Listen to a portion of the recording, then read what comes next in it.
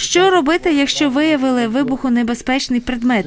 Як його розпізнати і куди звертатися? Навчав заступник начальника групи піротехнічних робіт аварійно-рятувального загону Назар Богдан. забороняється друзям розказувати, запам'ятали місце, повідомили органи державного самоврядування. Це може бути сільський голова, може бути мама сапи, яка може потім прийти до сільського голови і розказати, що йдете. Бо позвонили по номеру 101. Студент третього курсу медуніверситету Роман Тарасюк проводить тренінг з надання домедичної допомоги за протоколом Basic Life Support, що перекладається як базова підтримка життя. Він показує, як проводити серцево-легеневу реанімацію. Другокурсниця Вікторія Міщенко виконує роль реанімованої. Протилежну руку беремо в замочок і кладемо її під щоку.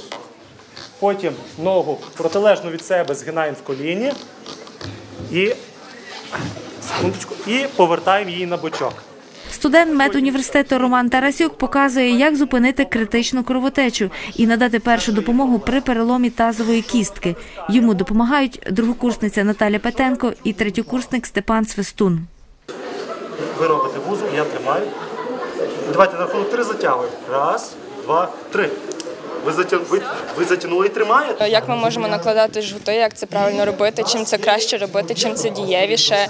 Насправді дуже пізнавальна інформація, її треба знати всім. В моєму житті не було таких ситуацій, яких потрібно було би використовувати знання з цього тренінгу, але ну тепер я буду знати, як, як це зробити.